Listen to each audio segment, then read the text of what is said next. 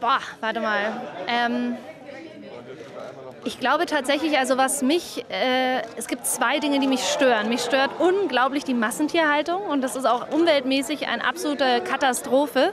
Insofern würde ich mir wünschen, ähm, dass mehr Menschen wieder zu ihren Werten zurückfinden und sich das auch mal anschauen, weil ich glaube, jeder, der sich anschaut, der kauft danach kein Fleisch mehr aus Massentierhaltung.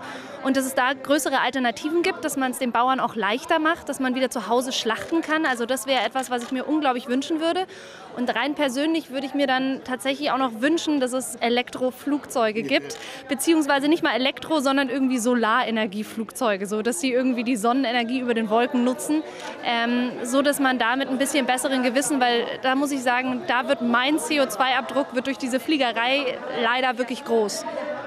Puh, was die Umwelt verbessert. Oh Gott, ey, da fragst du mich echt was. Da kannst du ja wirklich bei Adam und Eva auch anfangen.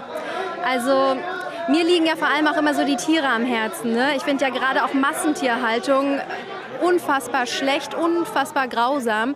Und ich glaube, ich würde mir wirklich irgendwas einfallen lassen, was so gut schmeckt, wie so ein richtiges Schweinesteak oder so ein Rinderfilet, dass die Leute überhaupt nicht mehr auf die Idee kommen würden, irgendwas äh, von Rind oder Schwein zu essen.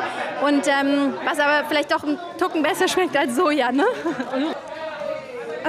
Also man könnte laut Aussage eines Bekannten von mir, der sich damit auskennt, ähm, wenn man den ganzen Äquator mit Solarzellen bestücken würde, die gesamte Energieversorgung der Welt dadurch abdecken. Ob das wirklich stimmt, kann ich nicht genau sagen, aber das fände ich schon eine ganz gute Maßnahme.